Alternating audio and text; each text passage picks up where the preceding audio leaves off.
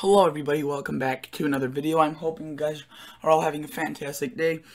So there's been a lot of going on in terms of the long range of the weather. a lot of changes, a lot of drastic changes, a lot of uh, cool weather possibly to occur, abnormally cool weather. And uh, yeah, so very interesting. So I'll be doing an update on this today.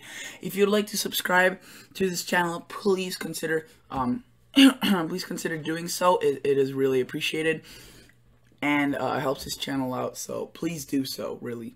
Uh, consider doing so. So uh, right now we're looking at the GFS model. This is the global forecasting system. We're looking at hour six right now, and uh, you can see that there was actually a very a very active uh, period of weather for the past couple of days. There's been these derechos, one after the other, following up through the Midwest, reaching areas like South Dakota, Minnesota, Iowa, Wisconsin, Illinois, Missouri, Indiana.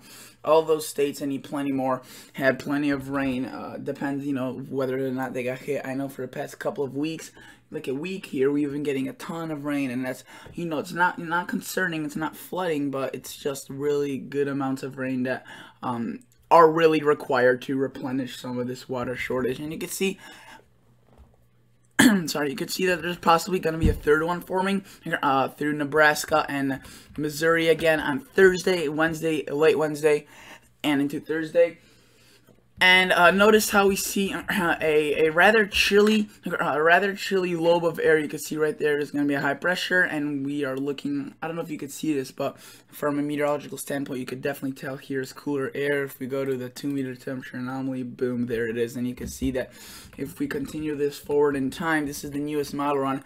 You can see that this starts already late Wednesday, the changes and then Thursday it's chilly. Uh, again taking a long time to load I apologize. And it's also the new model run so it's just loading. But you can see uh, this is Friday now. Um, definitely uh, you know quite a bit of chilly air and it kind of maintain maintains itself for quite a while and you can see that uh, Illinois, Iowa, Missouri are in the chilly air, and so is uh, Nebraska. I mean, most most of the Midwest and parts of the Northeast as well. Then uh, you can see it kind of starts fading away. We start seeing some warmer colors getting in like, through Minnesota, Michigan, and into even the Midwest. Uh, we see some of that cooler air still trying to, you know, make its way, but then, uh, you know, without, uh, you know, the cooler air gets pushed out completely. But look, we see another big wave. This is on next Wednesday, August 28th. and look at that. Um, I mean, a, a very big, and this one could be even bigger.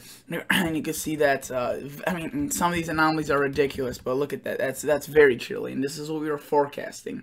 We were forecasting these these drastic changes. These uh, these you know uh, these uh, these cooler temperatures. We uh, you know me and several other YouTubers uh, especially me, or, you know, I was making these videos about uh, why August may be chilly and what that means for winter. And you can see that this is, I mean, look how significant that is. This is a huge anomaly. This could possibly bring some first snow. you know, this is almost September 1st. So I'm assuming some first snow for Montana, North Dakota, northern Minnesota. Um, definitely uh, some first snowfalls occurring for those areas. if you were to go to the old mile run and show you what the other one was showing, you can see still that same very chilly cold air. And I mean, it, it's gonna continue. So this one, in case you're wondering, seems to be reaching out into the south uh, fairly, you know, fairly powerfully still. Maybe not the southeast, but areas like Texas, Louisiana, Arkansas, Oklahoma, the south central states are going to get cooled off. So the cooler air is on the way, and then look, we possibly see another blast of chilly air in the long range, and another one. So I mean, it's just going to be one after the other, and this could mean, you know, I, I mean, this could mean a, a great thing, or you know, like a significant uh, a signal that uh, that the winter um, to come has some correlations with how the weather pattern already sets up in fall. So this could be, you know, very, very, very very uh, important and we'll have to monitor this. But right now you can see our 240 this is the European model so ECMWF 500 millibar geopotential height. That basically tells us where the troughs and the ridges are in the jet stream and where whenever there's a trough. Let me explain this quickly. I've done this many times before but like here there's a trough and that is marked by the blue colors. Usually then cold temperatures store up in this location and brings chilly conditions. Whereas during a ridge, a ridging pattern, it's usually something like this, and that uh, brings in warm air. But you can see that as of now, the European model is also showing some signs of a you know significant troughing going on, which you could see uh, would be uh, also agreeing with the GFS. And this is so for hour zero, we get that first one through Thursday. We get a little bit of warm up. You can see possibly some warmer temperatures or closer to average, but then we see another cool off and yet another cool off. So GFS very similar to this. And, uh, you know, I'm not trying to just focus on the fall. I'm just focusing on what's to come. Some people were saying, you know, like focus on on what's to come. Well, I am right here, and you can see chilly temperatures are on the way. Um, August has not been warm by any means in most locations, even though you may be sweltering in the 90s and the hundreds it hasn't been above average in your area most likely as much as you think it is. And i know that because i can look at the average map and i have these statistics from NOAA that show me that. So you know your your your claims aren't fooling anyone. But you can see that uh, here across hour 0 hour 12 again that first cool off this is now the gefs ensembles and this is I think 30, 24 something like that models of the GFS family, and you can see that again very similar. We first trough, then we see a break, maybe possibly of a little bit of a ridging. You can see again it's more like an upside down smiley face, kind of like a mustache. yeah, and, then we go into time, and you can see it shows also cooler air, and then possibly towards the end, um, you know, maybe more of a zonal flow. Interesting to see, but look at that. I mean, the, the temperature anomalies are going to be significantly colder or lower than what we previously thought. So very chilly air, very active. Let's go to uh, the GFS, but let me show you the MSLP and precip uh, to show you, to demonstrate you, you know, what the precipitation is going to be doing. Uh, basically, along these, uh, here's going to be the pattern. So every time we get one of those big uh, cool downs, we'll see a cold front associated with that, which could instigate some, you know, thunderstorms. But then also, while there's the break between them, we see some thunderstorms firing up in the warm atmosphere. Like here, right there, you can see Monday, Tuesday, we see some big uh, storm complexes to the north by the Gulf states.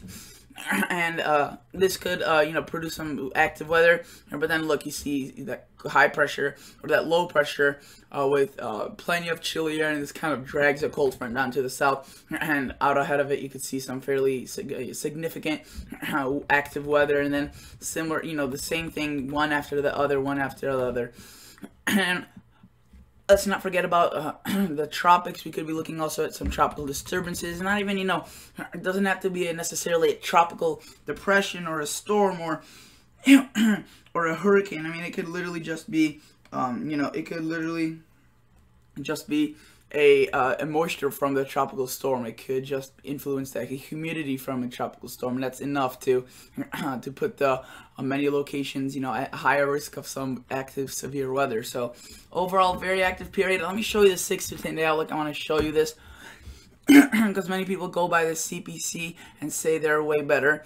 And I mean, you can see they're showing very similar thing, way below average for this part of the country, uh, excluding the west and the east. So that's kind of I should probably, you know, include that that it's going to be below average for the west. But look at that, above average uh, precip, which means you know very active fall-like weather is on its way. So seasons are changing, guys, whether you like it or not. Unfortunately, that's what's happening. And you can see uh, 8 to 14 day outlook, also very chilly. Uh, they have actually very high confidence, 70%, and then uh, the above average pattern continues. So we're looking at a very interesting, fun pattern. let me see if they updated their uh, their three to four week outlook, which they uh, often do. Uh, uh, not often. I, I wanted to say not too often, but okay. So they updated it uh, 16th of July, and you can see uh, they're also showing uh, below average conditions, and uh, you know that would that, it lines up with what the eight to six. 8 to 14 day outlook and 6 to 10 day outlook are showing. So this could, um, you know, this is definitely uh, something that is, you know, supported by many, many sources. So that's basically it guys, I just wanted to wrap this up. I showed you most of the models that are important, the GFS, European, the GFS ensembles. I showed you this with the Climate Prediction Center things and in terms of the tropics, uh, it could get a little bit more active now. We're you know reaching to around the peak of the season but uh, I won't be updating there you guys unless there's like an actual storm because that's what people like the best uh, when there's an actual system and something more concrete.